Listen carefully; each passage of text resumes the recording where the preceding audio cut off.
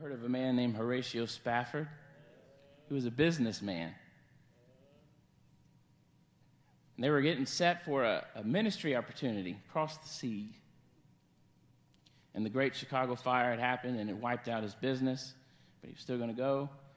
And he sent his family ahead of him. And the ship that they were on wrecked. And it went down, and he received a message saying, survived alone. And this man, who I'm sure had that feeling of, I've lost everything, gets on the ship to meet his wife.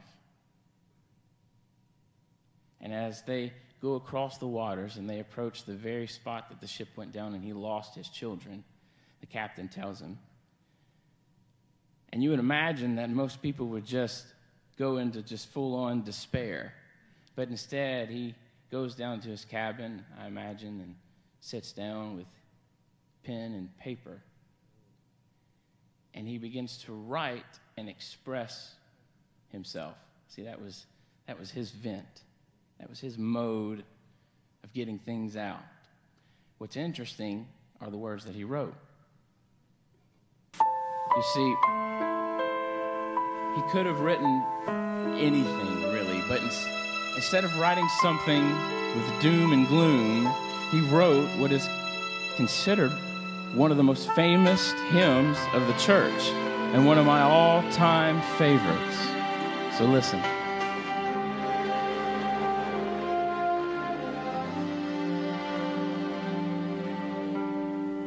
When peace like a river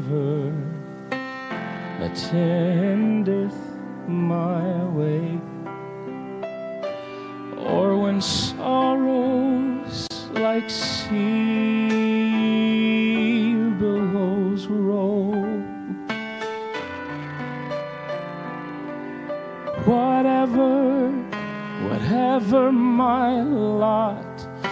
thou hast taught me to say, It is well, it is well.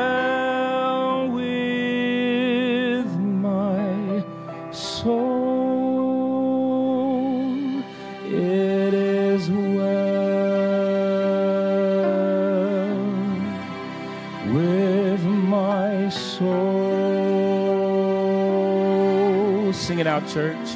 It is well. It is well with my soul.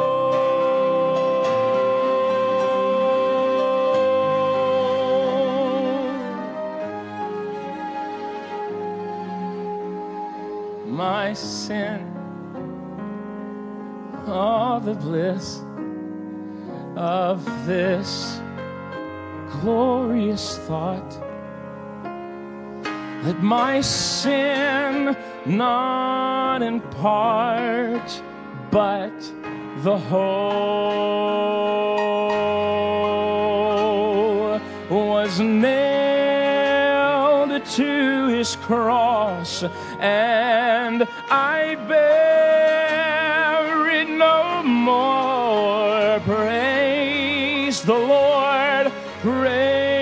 Praise the Lord, oh my soul.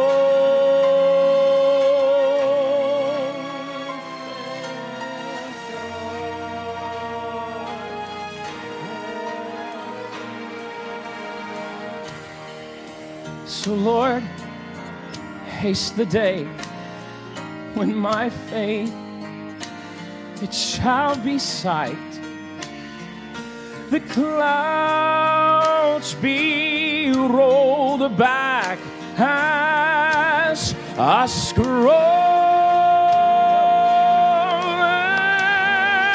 And the trumpets they will sound, and my Lord he will descend. Even so, it is well with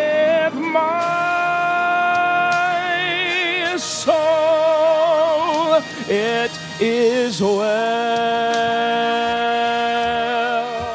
with my soul. It is well,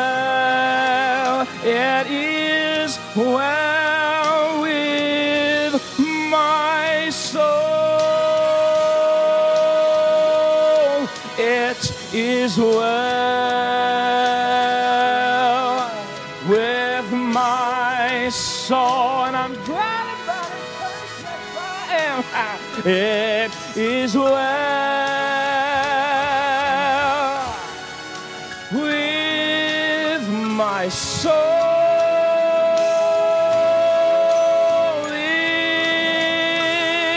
It is well, it is well with my soul.